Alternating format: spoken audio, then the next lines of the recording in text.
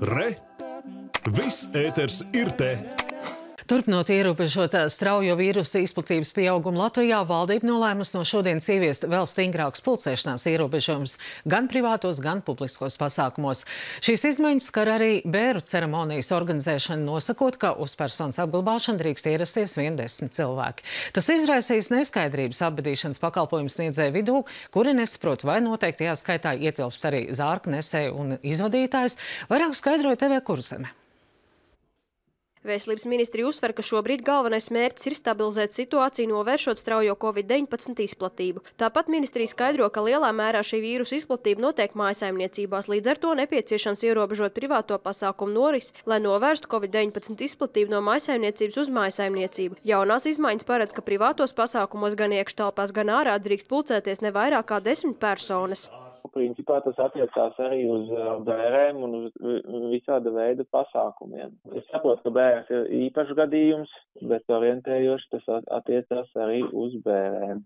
Apbedīšanas pakalpojums sniedzējiem apjukumu radīja neskaidrību, kas ietilpst atļauto desmit personu lokā. Liepājas kapsētu pārvaldes direktors Ivo Pavlušenko akcentē, ka jau kopš pandēmijas sākuma pavasarī, kad bērēs lielāka cilvēku pulcēšanās bija atļauta tikai ārā uz personas apbedīšanu ieradās mazāks cilvēku skaits. Tāpat, lai mazinātu inficēšanās risku ar koronavīrus, kapličās pārvalde ir izvietojis gan roku dezinfekcijas līdzekļus, gan informatīvus stendus, kas atgādina par distances ievērošanu. Tas ir, ir, ir katru bērnu ceremoniju organizētāja atbildībā. Jo nu, nevaram pateikt, cik atnāks uz šo ceremoniju tuvinieki. Nāk tuvinieki parasti un, un attāli draugi vai paziņas. Nu, prom, protams, nevienu nedzīsim, bet šeit ir tā kā ārtelpa var arī šos divu metru distanci ievērot viens no otra. Veselības ministrija šodien precizēja, ka atļauto desmit cilvēku skaitā ietilps tikai piederīgie, bet pakalpojums sniedzēja, piemēram, kapraču un izvadītājs ir ārpus noteiktā ierobežojuma. Tāpat, lai gan bērnu ceremonija kapličā norit neilgāk par 15 minūtēm, ministrija nosaka, ka tur obligāti jālieto sejas maskas. Šajā laikā dažādas aizsarglīdzekļus nāks izmantot arī abedīšanas biroja darbiniekiem, kur uzdevums ir parūpēties par mirušā pienācīgu apglabāšanu. Citur strādāt attālināt, mums neiznāk. Piesardzības soļus maskas, dezinfekcijas līdzekļi rokām.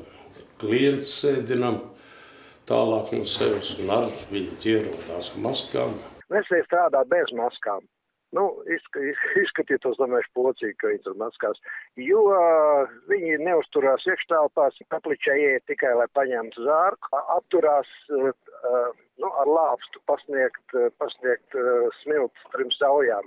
Aicina, aicina tuviniekus uh, paņemt no zemes tas smilts. Tas rituāls ir, nozīmē to, ka pavadītājs no trīs reizes paklanās aizgājējiem, paņemot smilšu sauliņu.